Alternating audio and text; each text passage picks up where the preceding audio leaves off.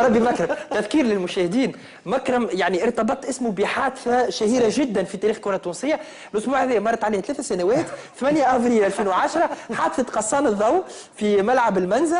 آه، مباراة الترجي وحمام لاف كانت ثلاثة بشيء ولات ثلاثة ثلاثة. لليوم مازلنا ما كشفناش سر المباراة هذه يعني. والله حبيت حبيت تجبدها خاطر الحادثه ذي كي آخر مرة في أحد القنوات صرحت. شكون قص الضوء قبل كل شيء؟ اي صرحت. قلت الأمن قص الضوء. صرحت. شكون قص الضوء. آه، ولات عندي مكانة خاصة وجمهور الترجي يقول لي الله يرحم والديك قلت الحقيقة. ويعني قلت قبل الحقيقة غير ما حبوش يخرجوها هو الوضع هذاك الأمن فقد السيطرة في المقابلة هذيك.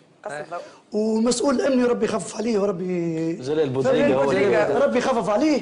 تخ- ما كنتش باش نرجع المقابلة ذيك ثلاثة بلاش قلت مانيش راجع. خاطر تعرضت لبرشا ضغوطات وأعوان الامن ضربوا قدامي خارجين في ال brancard.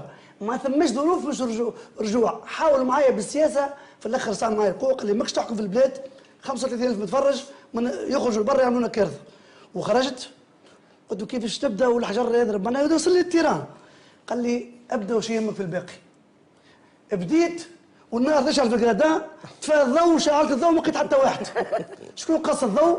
أنتم تعرفوا أنا قلت لك قال لي ابدا المسؤول على الامن ابدا جلال بودريقه وكي بديت كي بديت إن شاء الله ربي يخفف عليه. ربي يخفف عليه عدات باهي. والترجي بريء من قص الضوء. قبل. البوب قبل البوب نقطة